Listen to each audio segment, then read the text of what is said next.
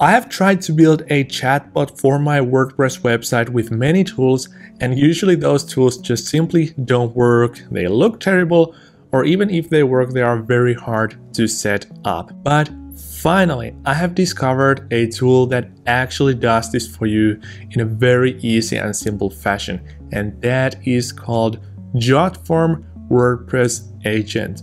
So if you want to have a customer service agent on your website that can answer any question related to the contents of your website, I will show you exactly how to do it in just a couple of minutes in this video.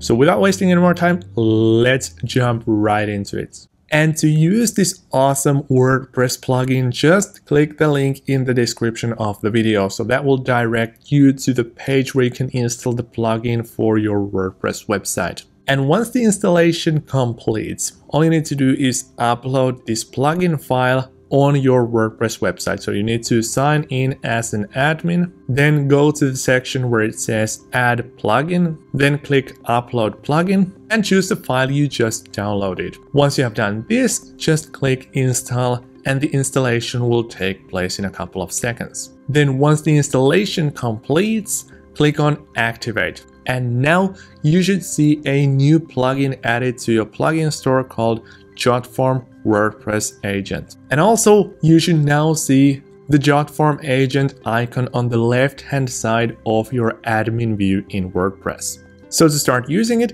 click on that icon and click try now. It then prompts you to sign in. You can sign up with Google to save you from the hassle of having to remember yet another password. And once you have signed up and signed in, please let JotForm allow access to your website. This is necessary because otherwise the plugin just won't work. Then just simply give the chatbot instructions on how to operate on your website and that's literally it. For instance, here's how I have set up my chatbot for my site provide customer support for my users by answering questions related to my website content. Don't search for information outside my site. If I haven't covered the topic, just let the user know that no answer was found on this website. Then just hit create AI chatbot. Then just wait for a while. Next, it is time to pick a persona for your chatbot. I chose mine to be a funny looking 3D avatar. Then give your AI chatbot agent a name and a role. Then feel free to tweak the rest of the settings in the agent persona section that is language, tone of voice, the greeting message, and whatnot. Then pick your agent style. And by the way, you can use these existing color schemes, so you don't need to be an artist to pull this off. And notice how handy this is. So anytime you make any change to the outlook of your chatbot, you will see a live preview of what it will look like on the right hand side of the view.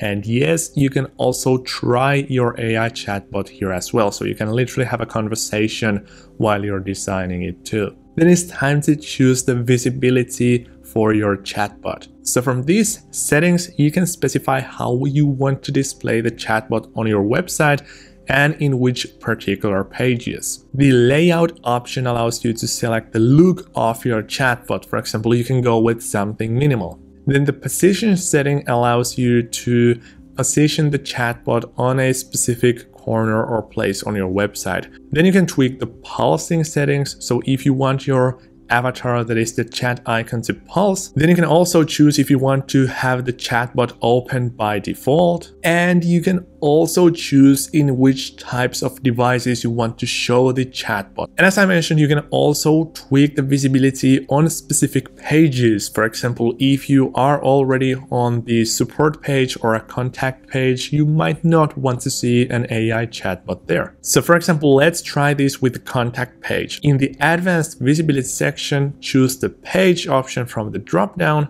and choose contact as the page you want to disable this chatbot on. And then last but not least, we have the knowledge base section. So this is the place where you can give some additional information for the AI chatbot. So you can, for example, specify additional URLs from other domains. You can drop in some regular text or some files. So in addition for the AI to learn the contents of your website, you can give it some additional resources based on which it can then give answers to your customers.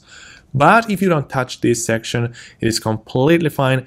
The AI has already learned the ins and outs of the contents of your website. And once your AI chatbot is ready, just hit publish. And if you don't want to show it on your website, just hit unpublish. But basically, once you publish your website chatbot, it will show up in the place you specified, which for example on me is the right bottom corner. And now you can start asking questions for the chatbot and your customers can do that as well. And just to make sure that it actually works, you can try it with a couple of simple questions. For example, I have created content on my software review website about these AI face generators or these AI headshot generators rather.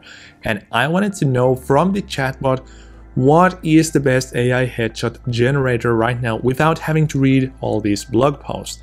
And the AI chatbot answered it perfectly. So the answer is spot on. It is exactly what I have told on the website. And I never want to try things just once because it could always be a lucky strike. So I will give it another one. So this time let us ask the AI chatbot who is the administrator or what is the email of the administrator of this website for collaborations, for example. And as you can see, the AI chatbot once again gave me a perfect answer. So this is pretty cool already. And last but not least, let's try if it actually obeys all my commands because when I set it up, I told the AI chatbot to only rely on information on my website. So if there is something that I have not covered on my website, the AI chatbot should refrain from answering that question. So let's see if that is actually the case. So I will now ask my AI chatbot who is the President of the United States. And as you can see, this is a perfect answer. So it told that it is only going to help me related to the contents of this website and the AI chatbot does not have thus any information about the President of the United States. So it didn't start to do any kind of research and it didn't start to re refer to other resources, which is exactly what I asked it to do. So this one worked out perfectly on all my tests.